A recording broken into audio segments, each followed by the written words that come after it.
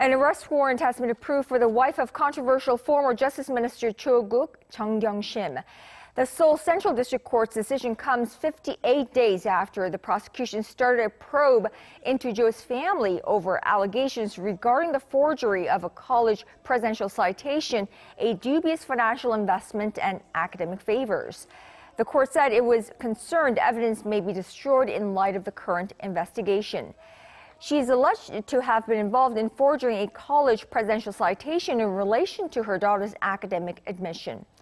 Chung also faces allegations of embezzlement and capital market law violation for an over 850,000 US dollars of private equity fund investment by herself and her two children.